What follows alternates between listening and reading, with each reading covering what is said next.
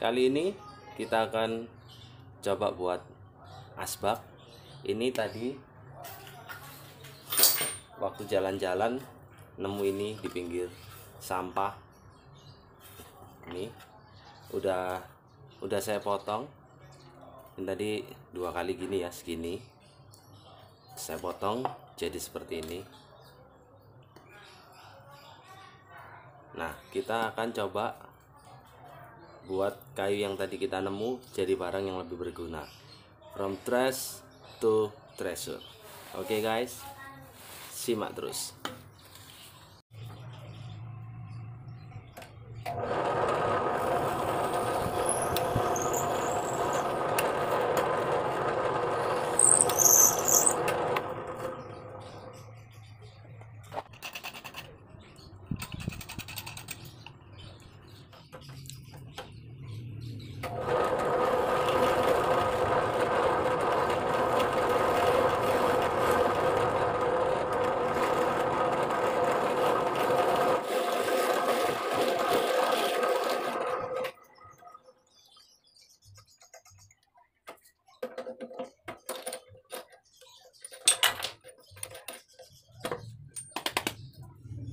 ini udah tembus separuh. Terus nanti kita balik kita balik ini untuk motongnya. Kita gosok dulu. Biar kalau nanti diputar ini nggak ganggu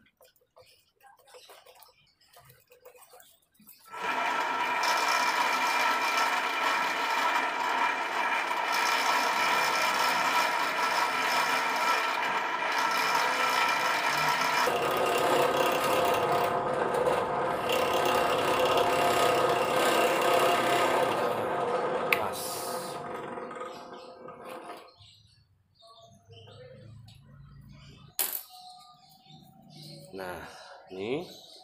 Sekarang kita akan rapikan ini dalamnya manual. Nggak nggak pakai nggak pakai mal ini. Kita lepas buat ngerapiin ini dalamnya. Oke kita akan rapikan dalamnya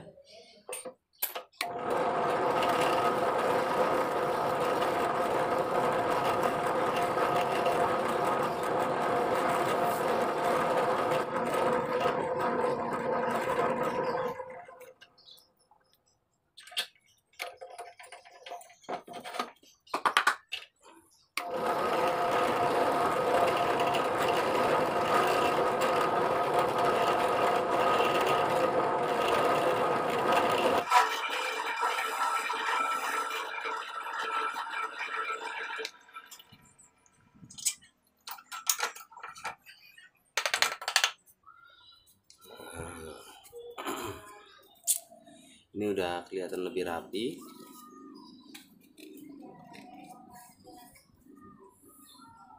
Kan sekarang kita proses untuk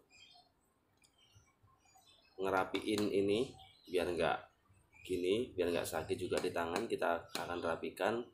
Kita lihat kita nanti uh, coba semua ini kita jadikan sampai jadi bisa dipakai. Ini kan masih sakit di tangan nanti kita halusin lagi oke okay?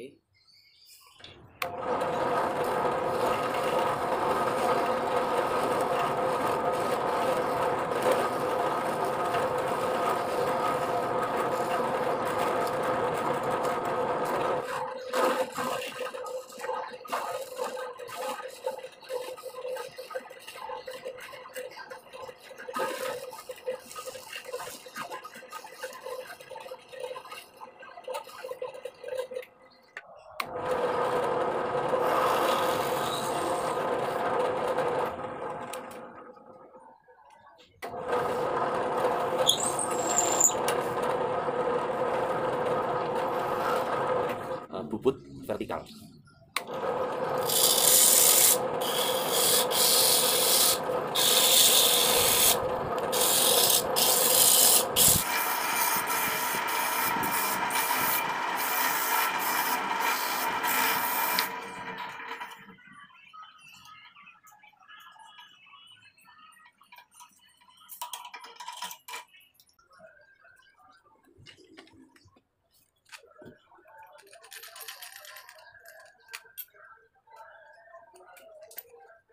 Nah ini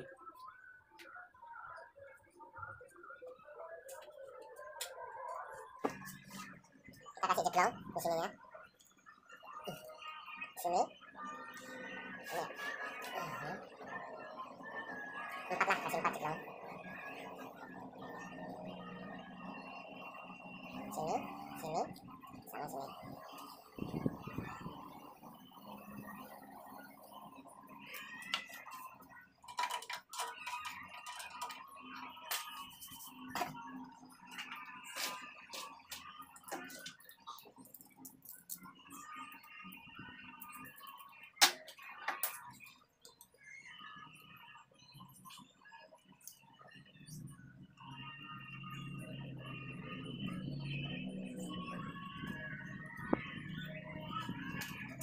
kita geraji dulu baru kita pakai mesin ini lagi.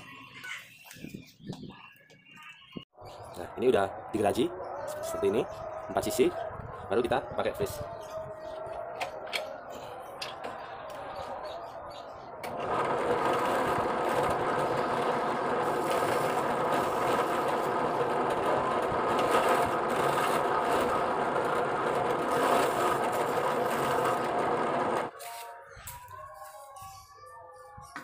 nggak bersih.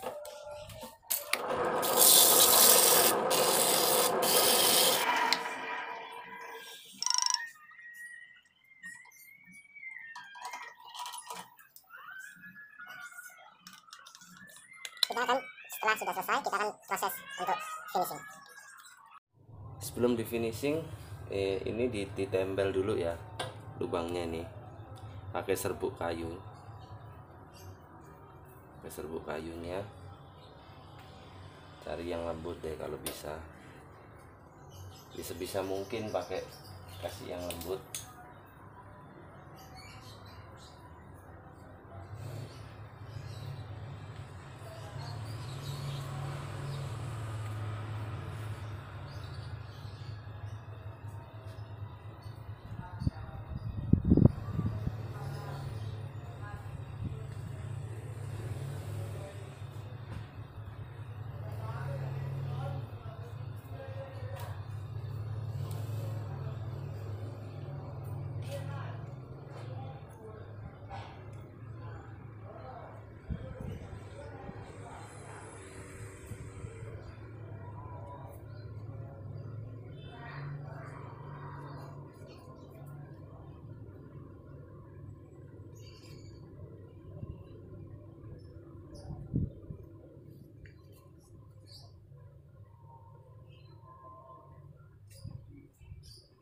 sinem.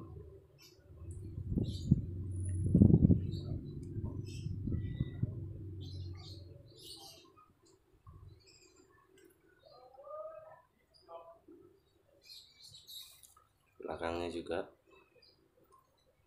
Nah.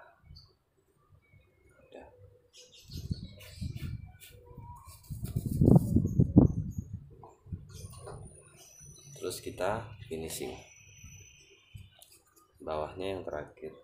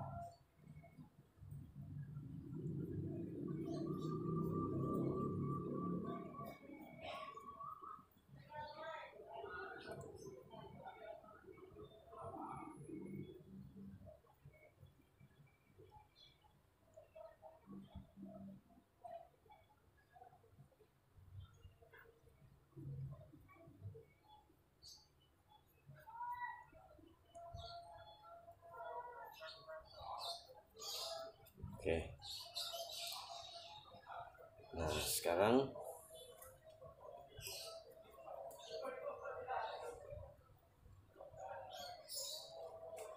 ini asbaknya udah jadi.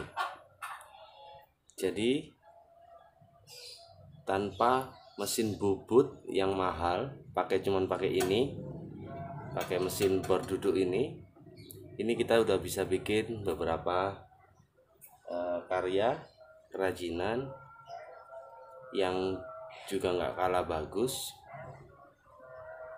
dengan cara yang saya praktekkan tadi sama video-video sebelumnya. Selamat mencoba. Semoga eh, bisa berguna. Cara ini bisa dipakai dan bisa juga buat untuk peluang usaha. Oke, sampai jumpa lagi dengan Filosofia Hardman.